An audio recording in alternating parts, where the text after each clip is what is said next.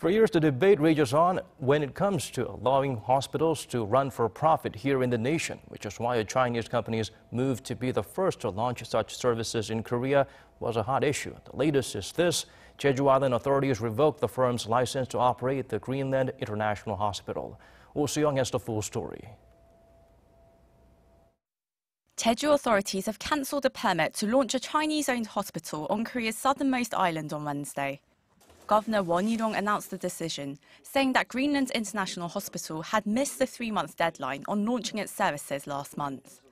He added that the hospital did not provide a sufficient excuse on the delay and requested an extension of the opening period only when the deadline was almost up. Owned by Shanghai-based Greenland Group, the medical centre was set to become the country's first investor-owned or for-profit hospital.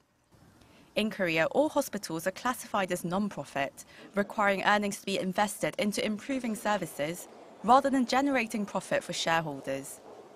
However, for-profit hospitals can attract foreign direct investment, as well as a so-called brain gain of talented personnel.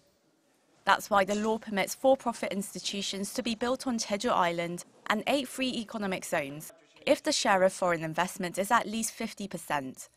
However, critics argue that this would derail the national healthcare system, which subsidizes medical costs for citizens, and lead to a slippery slope of rising medical costs for the general Korean public.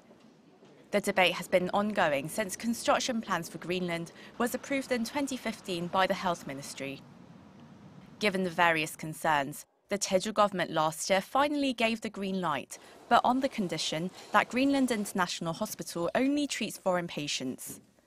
However, Greenland Group cried foul, filing a lawsuit against the Jeju government in February and showed little signs of meeting last month's operation launch deadline. As uncertainty remains on the future of the three-storey hospital, it's expected the public will be just as divided as ever on whether limiting for-profit medical centres protects or harms the public's right to decent health care. Oh Soo-young, Arirang News.